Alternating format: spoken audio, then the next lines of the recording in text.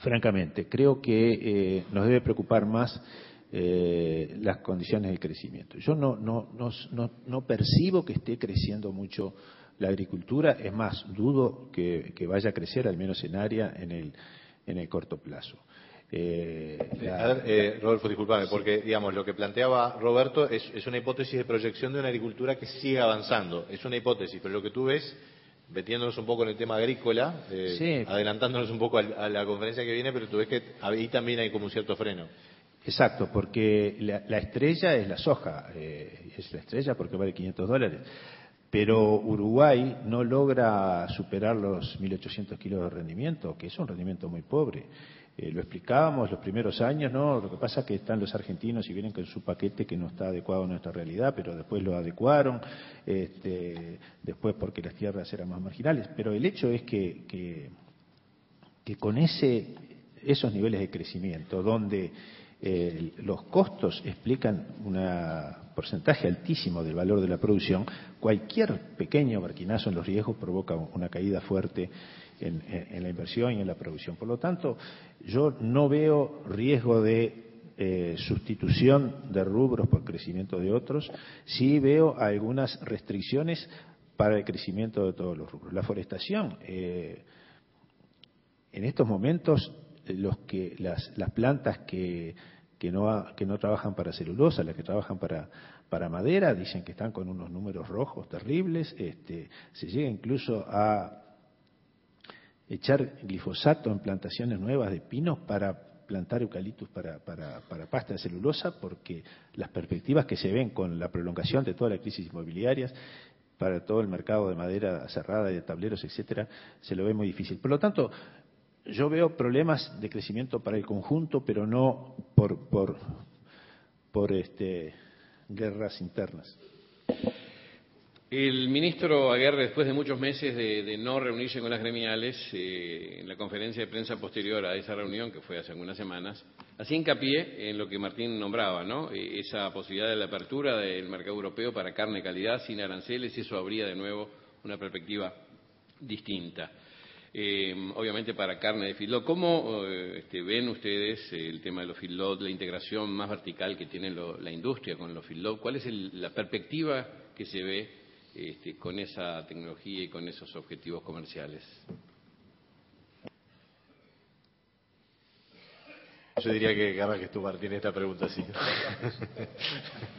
bueno, este, eh, se, comenta muchas veces, incluso está en el, el documento que nos entregaron, si algunas inversiones que el sector ha hecho, este, como el tema de la trazabilidad, este, las cajas negras, eh, nos han dado el retorno.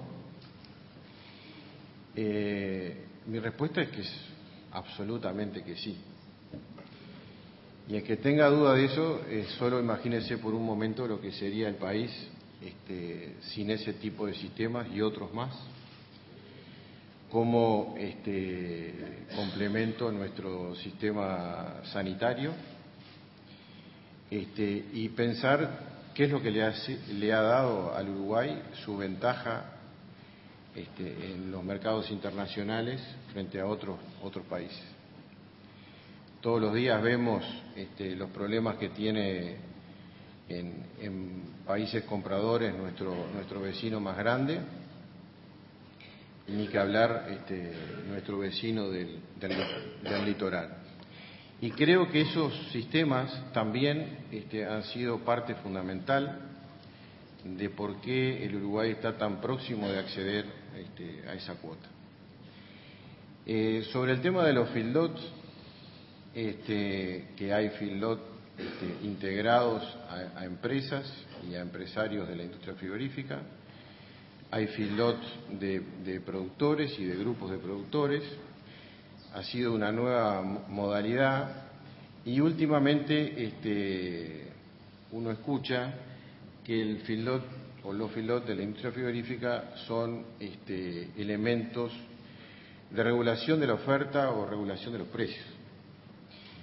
Y creo que es otro elemento que se pone en la opinión pública para entretenernos un rato cuando estamos aburridos, porque los feedlot, este, por lo menos los que yo conozco de la industria frigorífica, funcionan todo el año.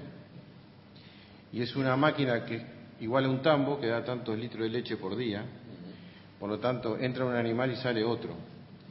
O sea que esa este, regulación o incidencia en, la oferta, si existiera, es pareja durante el año y están hechos, este, en el caso de la empresa que, yo trabajo, especialmente ligado a este, acuerdos comerciales, que tampoco se puede entrar y salir todo el tiempo, ni cuando el ganado eh, es caro o barato, o cuando el grano está caro o barato, hay que estar todo el año. Este, hemos tenido, sí, por suerte, en los últimos años, y hay bastante información sobre eso, una correlación bastante buena en los últimos años en lo que es este, el alimento y, la comida, y creo que es un elemento que se ha dado también en, la región. En Uruguay se habla que puede haber un 6% del ganado que llega a faena proveniente de ese tipo de sistemas. Creo que a los productores, según este, se comenta en algún libro de reciente publicación, le ha dado también una herramienta buena desde el punto de vista de, la negociación grupal de esos productores con una calidad diferenciada con la industria frigorífica. Por lo tanto, yo creo que han sido este, sistemas este, muy positivos para la cadena y me atrevo a decir, este, como complemento de lo que decía Roberto, este, si se da este, ese escenario que él decía, o incluso en un escenario como, el actual, nos vamos a encontrar con más este, proyectos de este tipo. Eh, Bonica, ¿cómo, cómo ve eh, el sector productor el hecho de los frigoríficos empiecen a consolidar su propio suministro de, materia prima con los feedlots? a nosotros nos gusta la libertad. No nos gusta que nos prohíban nada, ni a nosotros ni a los frigoríficos. Entonces, si no nos gusta que nos prohíban cosas, lejos estamos de pedirle a los frigoríficos que no tengan feedlots. Si es atractivo el negocio, si ellos por un tema de escala lo ven más atractivo que nosotros, bienvenido sea. También sea bienvenida la demanda de nuestros terneros, que cuando hay estados que necesitan terneros ven que los de Uruguay tienen ventaja frente a los demás, ventajas sanitarias, ventaja de valor agregado, trazabilidad de por medio, sistema sanitario de por medio, también queremos tener acceso a esos mercados. Así que, eh, lejos de oponernos, nos parece que estos son buenas posibilidades y que tenemos, a partir de octubre, si se concretan estas expectativas, un dinamismo en el sector que va a ser importante. Entonces, si llegan nuevos mercados, bienvenidos sean. Si nosotros los productores no capturamos ese mercado y los dejamos en, la industria, es nuestra responsabilidad, pero, eh, pero que no sea solo nuestra responsabilidad poder tener acceso a todos los mercados con todos nuestros productos. Eso quede bien claro paralelamente y coincidimos en lo demás. Ahora, más allá de esa libertad que claramente está expresada, eh, eh, ¿es una amenaza, es una, un factor neutral o incluso, bueno, como tú lo esbozabas, por lo menos para los proveedores de terneros puede ser una oportunidad? No, no, nosotros vemos, a ver, el, nuevo cupo que, le está dando Europa a Uruguay este, es una excelente oportunidad, es una demanda. Hoy, a ver, Uruguay hoy tiene acceso a muchos mercados, eh, excelentes oportunidades para colocar carne y además animales en pie. A partir de octubre se genera un nuevo mercado más. Esto es positivo, es muy positivo. Sin duda, esto cambia un poco, o tiene algunos. Hace falta ciertas escalas para instalar ciertos sistemas de producción para que estos sean eficientes. Esto a la industria, que es una actividad empresarial de tamaños más, de espaldas, perdón, más anchas que la de los productores, se le hace más fácil. Pero esto no impide que los productores, mediante estrategias asociativas, puedan lograr este, la misma eficiencia que logra la, industria. Así que, eh, por eso yo me fui al tema libertad. Eh, me parece que es básico esto y es positivo, Que, no, se vayan a interpretar eh, mal mis palabras. Esto tiene un balance positivo para el país. Roberto. La visión que, nosotros tenemos sobre esto es que en ese ámbito ¿no? de, de, aquilatar los beneficios de las libertades este, del punto de vista de nuestros negocios, nosotros comprobamos porque es un hecho de lo que pasa en otros países, ¿no? En otros países de industrias cárnicas desarrolladas da la impresión de que el sistema de engorda corral se ha consolidado y de que, de que la industria, de alguna manera, por la razón que fuere, este, aborda eso y toma más porción de ese sector. Este, yo creo que nosotros tendríamos que identificar eso, nosotros en este caso digo los productores ganaderos, ¿no? Tendríamos que identificar eso como, como una oportunidad tendríamos que tratar de también conocer mejor el valor que agrega en la cadena, porque ese me parece que es el punto central. Si eso agrega valor en la cadena, entonces en principio es buena cosa. Ahora, después veremos cómo actúan las fuerzas de mercado para que ese valor agregado se transfiera y, de alguna manera permee la cadena. ¿Por qué digo que es una oportunidad? Porque si se agrega realmente valor, entonces lo que necesitaremos sí serán en esa estabilidad que decía SECO necesaria para encarar ese tipo de, estructuras o de, o de esquemas de negocio, en esa misma estabilidad y en esa misma visión de sustentabilidad hacia adelante, procuraremos tener indicadores claros de cuáles son los elementos que agregan valor. ¿Qué quiero decir? Tendremos la oportunidad de producir un novillo que en principio será un novillo de año y medio, con 350 kilos de peso, acostumbrado a comer, que sean de la misma camada mejor. Hay una serie de cosas que diferencian una materia prima para un feedlot y que si nosotros como productores las incorporamos en nuestros modelos, vamos a tener en todo caso la posibilidad de captar parte de ese agregado de valor.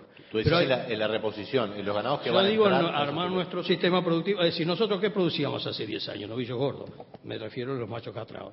Ahora producimos por lo menos tres cosas. Y en determinadas proporciones que tampoco que también tienen una dinámica, es decir, producimos novillos para feedlot Eventualmente encaramos algunos procesos asociativos en los que producimos novillos gordos de feedlot, que cada vez es una mercadería diferenciada. Se diferenciará más o menos en precios según las circunstancias, pero esto que está pasando ahora de horizontes nuevos este, en Europa lo diferencian aún más. Esa es una, segunda categoría. Producimos novillos gordos de campo, seguimos produciendo y producimos novillos jóvenes sin tanta exigencia de peso para exportaciones pie. Ahora tenemos un abanico de oferta un poco más amplio. Pero volviendo eh, a, los efectos del, crecimiento de los feedlots y la apropiación de la industria de un segmento grande de ellos, yo insisto en lo importante que es generar señales al sistema productivo. Porque los países que sí lo han desarrollado, además de diferenciar el producto, generan señales de performance, que después calan eso hasta en los centros de investigación y se llevan adelante sistemas de cruzamiento y sistemas de evaluación de performance en condiciones de feedlot. Nosotros capaz más tarde hablamos algo de, cruzamiento, pero esas cosas me parece que son importantes. Este, no sé si Pablo o, Rodolfo, ¿tú quieres comentar algo, Pablo, de, este tema? Sí. A veces, en estos 10 años de esa ganadería en competencia y país transición, pasa mucha cosa y pasa muy rápido y no nos damos cuenta que arrastramos cuestiones idiomáticas que tienen que ver con circunstancias la palabra field en Uruguay adquirió una connotación positiva y de expectativa por la salida del 2003-2004, que fue posible gracias a Estados Unidos. Sin la apertura de Estados Unidos y la colocación de carne sin hueso no estaríamos acá. Y a Estados Unidos le llegamos a colocar 300.000 toneladas. 300.000 toneladas a Estados Unidos. Por, por, supuesto, cumpliendo la cuota y muy por fuera de cuota, y ese conocimiento de ese mercado nos llevó a pensar que la carne que comían los americanos nosotros podíamos llegar a producirla. Y ahí nos empezamos a interiorizar, solo que el field en Estados Unidos y en Australia no son animales de 450, 500 kilos, son de 600, 700, 800 kilos y otras razas. Es con hormonas y con antibióticos. Y es otra cosa. Eso es para mí el field. Llamarle field a lo que nosotros hacemos creo que es una falta de creatividad idiomática este, por no llamarles este, confinamientos intensivos, semi-intensivos, terminaciones. Digo eso porque después genera una expectativa equivocada para el productor que piensa que eso es carne de calidad y que se la van a pagar más. Bueno, se la van a pagar más si el mercado de Estados Unidos o quien demande paga más por eso, si no, no se lo van a pagar más.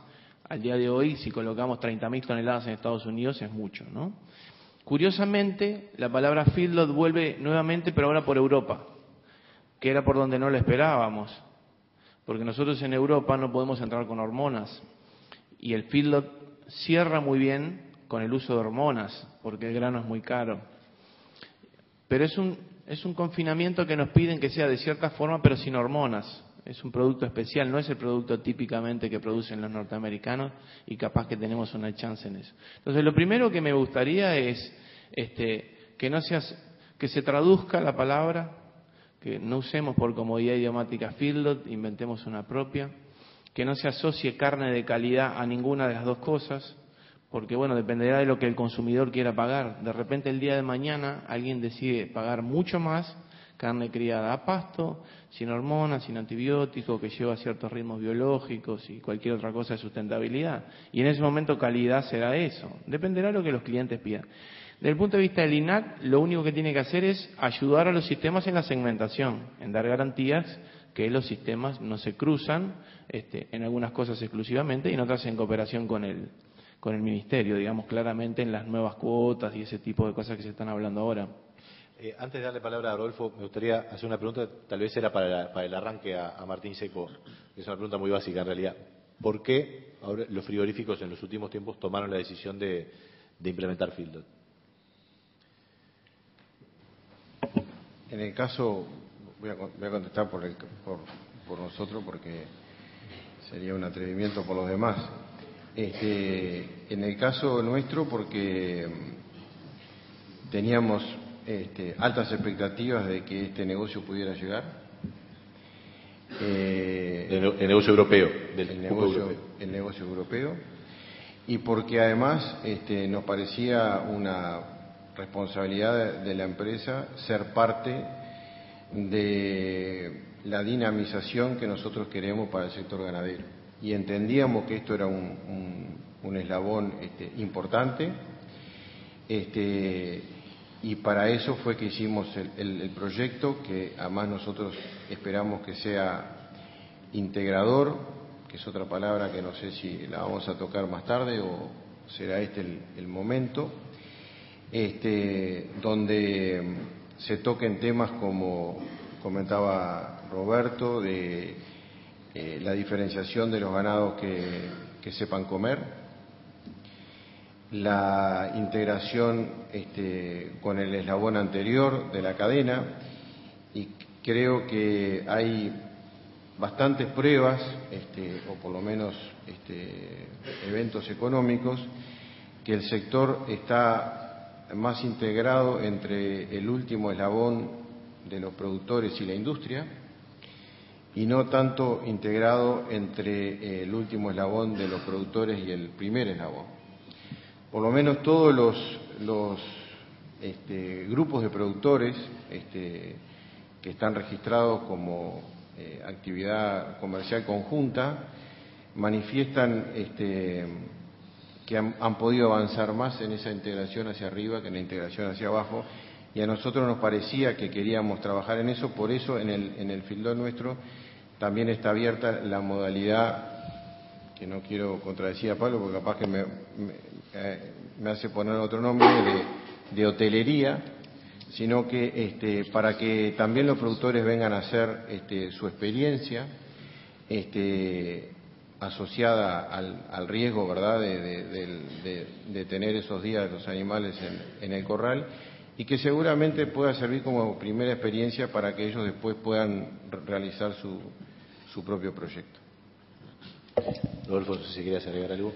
Sí, par de cosas finales. En primer lugar, me ganó de mano Pablo porque yo iba a plantear que yo voy a hablar de engorde a corral y no de esa otra cosa. Eh, engorde a corral y también producción de leche a corral, porque eh, es una tendencia en todo el mundo. La, como consecuencia lógica de los procesos de intensificación, eh, la producción cada vez más en forma estabulada. Eso lleva a una serie de cambios obvios en, las funciones de producción, en la orientación de la investigación. Eh, cada vez tenemos que pensar más en los problemas este, sanitarios y de comportamiento de los animales por hacinamiento y no tanto en la parte nutricional que nos la soluciona, digamos, la agricultura en otro, en el ejemplo clásico de, simbiosis entre, entre las dos producciones. Los aspectos de mercado son obviamente determinantes, pero creo que fueron tratados este, eh, suficientemente y con más autoridad que lo que podría hacer yo. Eh, la otra cosa que creo que hay que mencionar es que otro factor determinante va a ser la relación de precios entre granos y carnes y, o las distintas opciones de venta de la carne. Eh, creo que por ahí va la cosa.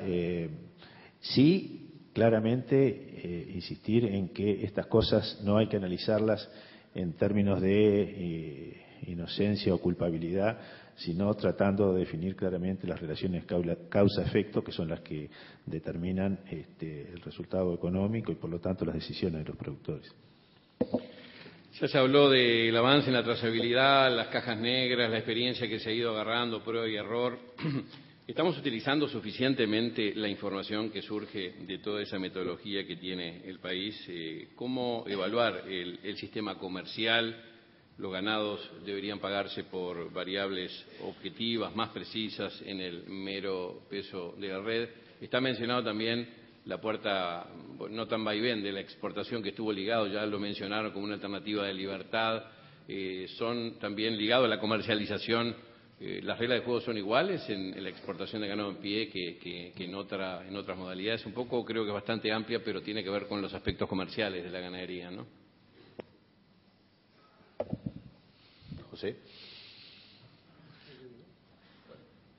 Bueno, este, primero, en la presentación de ustedes se muestra que eh, los rendimientos de los ganados han bajado consistentemente en los últimos 10 años. Eh, vamos a empezar a charlar por ahí porque creo que se usó esa información como un índice de algo que no es correcto. Pero sí, los rendimientos han bajado porque dentro de una reglamentación, siempre respetando la reglamentación vigente, eh, han habido cambios tecnológicos y comerciales que incidieron en esto. Queremos aclararlo y aclararlo bien. Entre la tercera y la cuarta balanza, algunas cosas se deben hacer con la red y otras cosas se pueden hacer. Eh, han habido cambios ahí, en el capítulo se pueden hacer y han avanzado, hay muchos argumentos en este sentido, pero no quiero aburrirlos, pero quiero ser claro en este sentido. Eh, el descenso en los rendimientos de nuestros ganados no es algo que tenga que ver con una falta de intensificación o con un aumento en la extensificación de la producción, no tiene nada que ver con eso. Sí nos causa un punto de cierta eh, debilidad en la, en, la, en la, cadena, lo hemos hablado, nosotros, esta mesa, eh, no, orgánicamente, pero este país es un país chico y, tenemos contactos y aprovechamos de eso y, estamos, y, los usamos a nuestras amistades, nuestros conocimientos y cambiamos ideas, mucho más de lo que a veces se piensa. Estamos al tanto de otros inconvenientes. Pero lo cierto es que en, en ese caso tenemos una reglamentación que no es la mejor y que permitiría la discrecionalidad no digo que ocurra, es más, digo, estoy convencido de que no ocurre, pero permite la reglamentación la discrecionalidad de que un jefe de planta diga, a partir de tal res que pertenece a la tropa de Roberto Beña, si tú me permites, la vamos a tratar de tal manera y a partir de tal otra, de, tal otra res que, que pertenece a la tropa de José Bonica la vamos a tratar de otra manera. Esto tenemos que ser conscientes nosotros. Esto no ocurre, pero esto puede ocurrir. Y estos son uno de los argumentos que generan incertidumbre. Y de ahí... Eh, José, a ver si podemos explicar un poquito. Tratar de una manera distinta, por ejemplo, en el, grado de dressing. Estoy hablando del dressing, estoy hablando de las técnicas que se hacen en el dressing. El dressing no es el mismo si nos comparamos con Argentina, por ejemplo. Cuando comparamos precios, a ver, cuando leemos el diario y vemos lo que valen las reses, la carne en distintas zonas del país, en distintas zonas de América, perdón, este, tenemos que ver con qué dressing se hace. No es el mismo dressing. En Argentina es, distinto al nuestro. Y el, que, hacemos nosotros admite distintas intensidades, admitiría distintas intensidades. Entonces, eh, eh, a lo largo del tiempo hay yo no soy experto en esto, puedo cometer errores, pero se ha lavado la, res en, distintos lugares antes o después de la balanza. hoy se utilizan nuevas técnicas con golpes eléctricos que, le sacan más fluidos a la, media red de una manera más rápida, esto mejora su calidad. Este, entonces, decir que eh, la ganadería 2009 rinde menos que la de 2004 es comparar eh, peras con, con, limones. Pero esto nos genera ciertas incertidumbres. Y aquí vengo ahora a la pregunta. Este, ¿Tenemos que comercializar nuestros ganados de otra manera, con mayor intensidad? Tú hoy, Nicolás, me presentabas como arrocero. Nosotros en el arroz tenemos premios y castigos. Cuando entregamos el producto, ahí ya sabemos de antes, hay una tabla que nuestro producto tiene una base y por distintos factores puede estar por arriba o por abajo y tiene para cada uno de esos factores premios y castigos. Pero eh, es lógico pensar que tendríamos que llegar a esto en, todo lo que produzcamos. ¿Por qué no alentar la, meritocracia? ¿Por qué un producto merece ser pagado de una manera, no pagarlo? Y si merece ser pagado de otra o penalizado de otra, ¿por qué no penalizarlo? Por supuesto que sí. Pero para eso tenemos que estar hablando de cosas que sean más transparentes, suficientemente transparentes, para que podamos integrarnos de una mejor manera. En general, Uruguay, en todos los, creo esto es general para todos, el sector primario le abastece a su industria de productos de muy buena calidad o de mejor calidad que en otros lados. Hablo de granos, no sé Roberto en, citrus, pero capaz, que sí también. Eh, y en ganado no tengo duda de esto, pero tenemos que alentar a que, a pesar de que la materia prima es buena, y supongo, a ver Martín, si digo bien, a la industria le es beneficioso que le llegue mejor materia prima, tenemos que alentarnos, y los precios son buenos para esto, buenas, buenas maneras de que alentemos esto, eh, tenemos que tener sistemas que sean lo suficientemente transparentes y hoy no lo tenemos. Entonces, en realidad, en vez de avanzar en la cadena para, retribuir a la carne con los cortes finales, que no podemos negar que es lo lógico, en realidad vemos ventajas de ir para atrás y, se levantan voces de pagar en tercer balanza en vez de la cuarta, porque es una balanza que está mejor correlacionada con lo que el productor sabe antes que su ganado suba al camión rumbo al frigorífico. Entonces ahí tenemos un, aspecto en el cual tenemos que trabajar y en conclusión y que tenemos ventajas todos a, lograr y es un desafío para todos nosotros. Roberto. Este, yo no tengo duda de que hay que ir a sistemas más objetivos, pero no tanto por lo que uno conoce o imagina de, la carne, sino porque eso es una cuestión genérica. Es decir, eh, ha pasado en, casi todas las cadenas este, alimentarias que uno conoce. En, el caso de los cítricos, y, el ejemplo todavía es mejor en los cítricos para jugo, que se compraban tradicionalmente la naranja en la fábrica, compraban por tonelada, después empezaban a comprar por porcentaje de jugo, esa fruta era una cosa lógica, pero si en realidad el producto es jugo concentrado congelado a 65 grados Brix, lo que hay que comprar es por sólido, por contenido de azúcar del jugo. En la leche ha pasado lo mismo, la leche se compraba por litro, después se compró por grasa y ahora se compra por grasa y proteína, donde se prioriza la proteína en relación al destino. Ahora, yo lo que, y así podemos seguir, el trigo se paga ya no por peso hectolítrico, sino por el falling number, que es la calidad panificadora de la proteína. En definitiva, eso es lo que refleja, primero, este, consolida las cadenas. Segundo, eh, retribuye con el justo precio a la materia prima. Pero para mí el elemento más importante es que hace adaptar los sistemas productivos a lo que es el, hay lo que los gringos dicen un market driven, en definitiva es identificar qué quiere el mercado y armar toda la cadena para eso. Yo creo que el cambio en los sistemas productivos parte del reconocimiento del valor implícito en la materia prima que uno entrega. Sí, acá voy a tratar de ser institucional bien INAC-INAC histórico de los cuarenta y pico de años. Las cajas negras existen básicamente por interés del Estado y de los productores, no por una necesidad estricta de la industria. La industria conoce sus procesos, siempre los conoció. No precisaba tener siete balanzas con un sistema externo de control para saber lo que producía. Ya lo sabía, digamos. No, no hay un aprendizaje este, técnico significativo, aunque una vez instalado el sistema puede aprovecharlo.